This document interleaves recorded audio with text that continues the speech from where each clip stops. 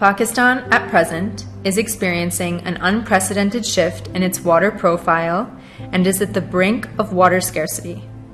At this critical juncture, there is a dire need to take sustainable measures as an effort to conserve the water resources. One such measure is harvesting rainwater to offset the percentage use of fresh water.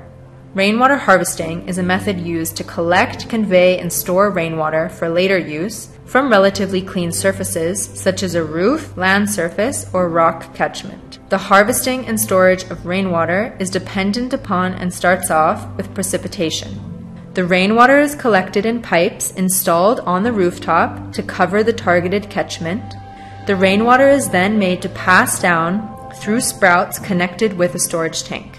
The stored water in the tank is then utilized for non potable purposes such as gardening, general cleaning, and car washing. On average, up to 60 cubic meters per year of rainwater can be captured through a rainwater harvesting system installed on the rooftop of a 5 Marla house.